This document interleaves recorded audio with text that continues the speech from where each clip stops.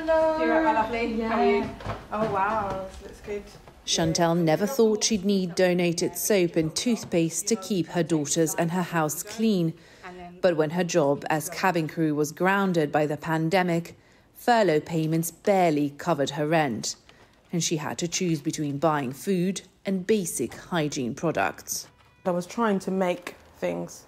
So make cleaning products myself, make toothpaste myself, baking soda, and I've got two children um, at the time. They were two and seven, but um, it wasn't going very well. The smell of white vinegar as a cleaning product wasn't something they enjoyed, and baking soda wasn't something um, they could tolerate. You don't want to admit that you failed, and you, you don't want your children to know how bad things are.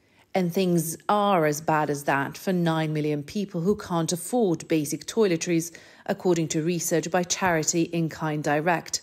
A number that tripled on last year, they say, with more than a third of those in need living with children. We hear examples of, of families um, using washing up liquid as shampoo and shower gel, children sharing toothbrushes, you know, you know, the the people making their own period products by going into Tesco's and and using some of the paper and a and a carry bag is is that feels like a pretty basic human right that people should have access to those things. But food banks provide the only access for those struggling the most, where volunteers say it's the toiletries that people are now queuing up for. Staff in this food bank say they have always been busy, but what people are increasingly in desperate need of are hygiene products, things like shower gels, period pads, and even just washing up liquid. And there isn't enough to meet the demand, leading to some desperate measures.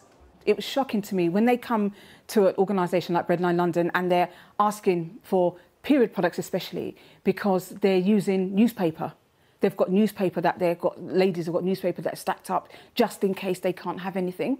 I'm like, I just I don't understand how I can not give them, but if that means that I can, I have to keep it from someone else, it's just so unreasonable. It's just I just feel so so sad. Impossible choices that no one should be making. Milena Veselinovic, Sky News.